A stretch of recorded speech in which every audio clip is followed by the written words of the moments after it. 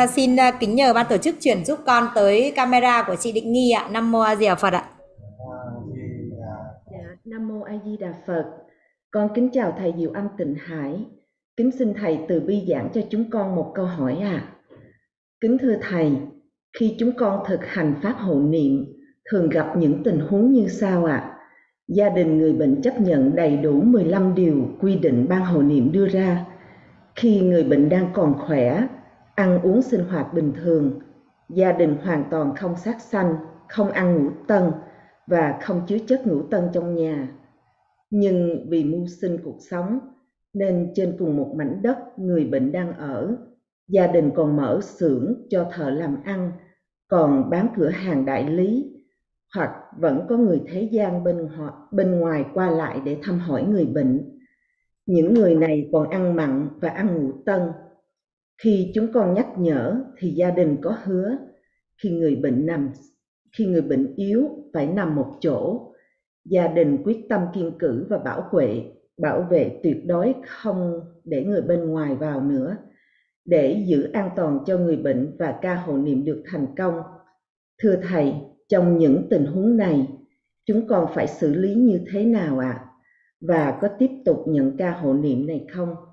Con kính xin Thầy từ bi giảng giải cho chúng con hiểu rõ, cho thấu và hành cho đúng pháp hộ niệm để đem lại lợi ích cho chúng sinh trong hiện tại và hết báo thân này chúng con cũng có phước phần vãng sanh về Tây Phương cực lạc à. Con thành kính tri ân và cảm niệm công đức của Thầy Nam Mô A Di Đà Phật.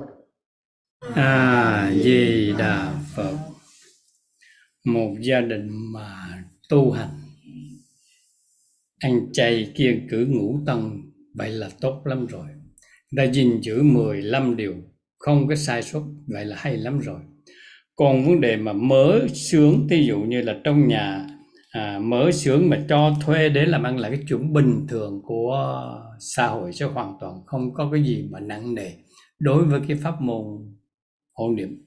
Cho nên ví dụ như có những người ta cho mướn nhà để mà kiếm tiền thêm hoặc là ví dụ như cho mướn cái cơ sở đó là chuyện hoàn toàn không có gì mà mình phải lo lắng về cái chuyện mà mở xưởng làm ăn nhé chư vị. Một cái điều mà nên nhớ là thăm lông, khách khứa thăm lông thì nên nhắc gia đình. Là cố gắng khi mà mình quyết lòng vãng sanh về tây phương cực lạc thì dặn người bệnh là nếu mà có bạn bè nào mà người ta chưa biết về hộ niệm, ta chưa biết về cái pháp môn niệm phật, mà người ta nói những cái lời tiêu cực, thì dặn cái người bệnh, dặn gia đình là mình phải có cái chú định rõ rệt, có niềm tin vững vàng, đừng nên trao đảo trước những cái lời mà bàn tán ra vào không đúng pháp của những người bạn bè, thân hữu gì đó, quen thân gì đó, nên dặn dò trước đi. Chắc chắn là khi còn tỉnh táo thì lâu lâu có bạn bè tới thăm mình không thể nào mà ngăn cản được. Nhưng mà đưa đến tình trạng là phải hộ niệm ngày một, ngày hai ra đi rồi thì nên khuyên gia đình là cố gắng ngăn cản cái vấn đề này tốt nhất là để một cái bản thông báo ở ngoài cửa là chồng tôi là con tôi là cha tôi gì đó đang trong cơn yếu đuối không muốn tiếp chuyện với ai.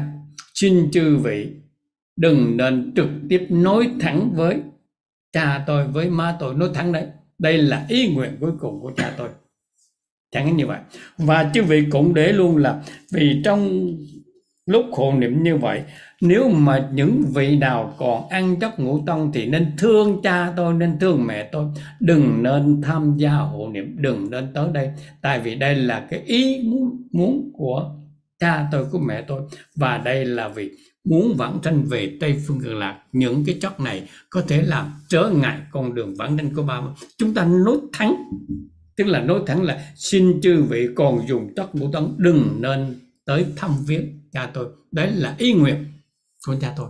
Chư vị có thể chư vị nói sao nói thì nó dễ dàng.